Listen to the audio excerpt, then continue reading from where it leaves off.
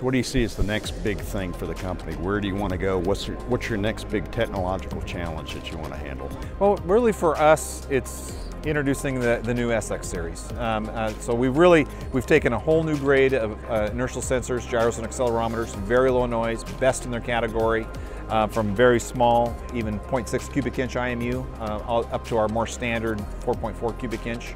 Moving those into much more, which have probably been the lower end um, uh, fiber optic gyro uh, space based IMU.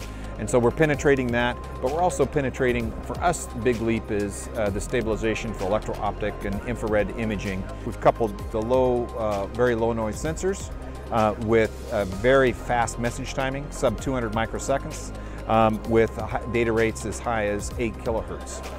And what that really enables is uh, no phase lag for the digital uh, imaging. Uh, so we can go from what has always been analog and very high cost, high power, large size to stabilize uh, that uh, EOIR sensor to now very small, lightweight, high dynamics. Um, so we think that's where we'll, we'll penetrate the most uh, in, in, the, in the next year.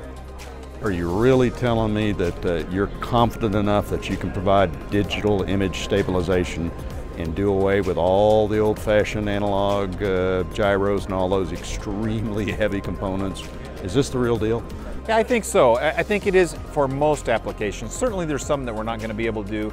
Um, we're not as low noise as the, the dynamically tuned gyros, um, but for a whole host of applications, we offer all of the SWaP-C advantages and the performance, and we can still meet that application.